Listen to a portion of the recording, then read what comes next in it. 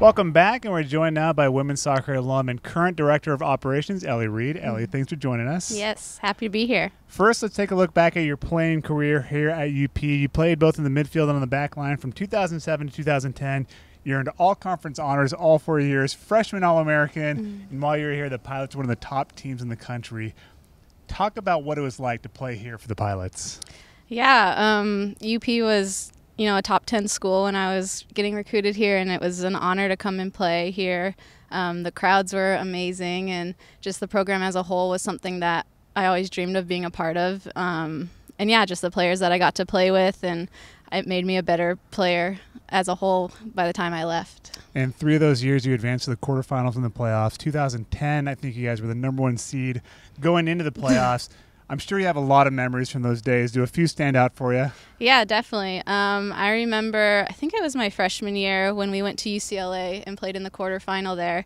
Um, just, I think back on some of the players that were on the field at that time, and it's pretty amazing. Um, I think we ended up losing in overtime, but it was just an amazing game. And being able to play as a freshman, it just like you couldn't have asked for anything better. Wow, that was your freshman year. I think so, yeah. Three two double overtime Yeah. loss to the Bruins is heartbreaker. It was, it was. And now your days at UP beyond the soccer field. How did this school impact you as a person?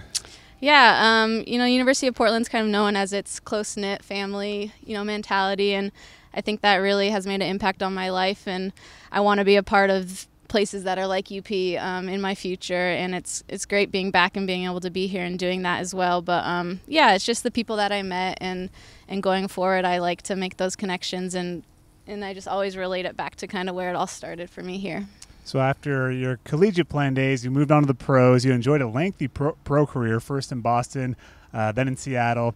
Talk about your pro days. It also included some time in Europe, didn't it? Yeah, it did. Um, I got drafted by Western New York, and I actually didn't make the team, so that was an interesting start to my professional career. Um, but you know, it goes to show you that you you just got to keep going, and it was hard at the time, but I'm so grateful that Boston picked me up, and I got to continue playing there. Um, Boston was great. Got to play with Keelin Winters, one of my best friends, who played here as well. Um, so that was a lot of fun. Good two seasons there, and then the league folded, and so I went over to Germany and played just for maybe six or seven months. Um, but that was a lot of fun as well. Different style. Um, got to learn a bit of different things about the game and you know how they like to play over there. Um, and then the, the league came back, the NWSL, and uh, was able to come back to the Pacific Northwest and sign with Seattle. So that was really really fun, um, and I loved my time up there.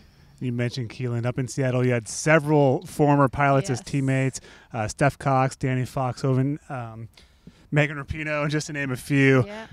Ha- I mean, we joked about around here. We called Seattle Reign the UP of the North. Mm-hmm. Did having so many familiar faces around enhance your time up there? Yeah, absolutely. I mean, it's always fun to, you know, reconnect with some people after a couple of years and be able to play because you grow so much as a player and a person from college to the pros. So that's pretty cool to be able to come back together. And I think we all had a good, similar vibe on and off the field, and so that helped. Um, and yeah, we all just had a lot of fun on and off the field. So I'm sure you and Keelin probably had some some good adventures up there. Any We specific did. memories stand out for you?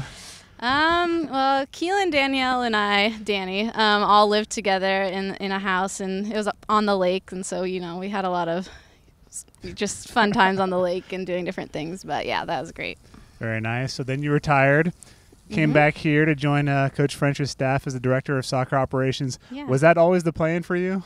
No, um, when I retired, I wasn't quite sure what I wanted to do. Um, I knew I wanted to be back in Portland, um, and I, I still love soccer and love the game. So when this opportunity came, I was happy to take it. Um, still be involved, but kind of doing something different and learning some new things. And um, yeah, I've never, I didn't really know Frenchie a ton before, but I always heard of her. She's kind of a legend, you know, with UP and on the national level. So um, when I got coffee with her and chatted with her, I just knew that it would be a really cool opportunity for myself and to be back on the bluff.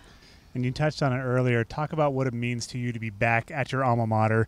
Now on the other side of things, uh, possibly making an impact on the current women's soccer players. Yeah, it's really, really neat. You know, a lot has changed and a lot is still the same. So that's kind of cool to see the new and the old, um, some familiar faces around and some new buildings up and everything. So it's cool. And um, it's been a lot of fun getting to know the current staff and the current team. Um, they're all, it's a great group. And I think we had a lot of fun together this spring. So we're looking forward to the fall. And what is it like to work for Coach French? It seems like she has an abundance of energy all the she time. She does all the time. I don't know where it comes from, but I try to feed off of that because I don't always have, you know, I'm not a morning person, and she's up you know, at the break of dawn. So, um, no, it's really good. She's she just has great vibes about her, and everyone kind of feeds off of that. Even you know to see her interact with the girls is really fun because it's the same thing with them. You they can feel her energy, and you know it goes into practice and playing well and those sorts of things. And yeah, she's just a great leader on and off the field, um, and there's a lot to learn from her. You've been on the job now for a few minutes. Spring season's over. Graduation last Sunday. A little break now, maybe for Yeah. you. But how has the job uh, been going for you so far? Yeah, it was good. It took a couple weeks to kind of get into it. This is, you know, my first real job outside of professional sports. So, you know, just that nine to five grind, getting used to it. But it's been really, really good. Um, I don't think it, there could have been a better opportunity for me coming out of professional sports. Like I said, still being involved with soccer and um, doing what I love. So that's really nice. Um, and it was fun to be back in the spring.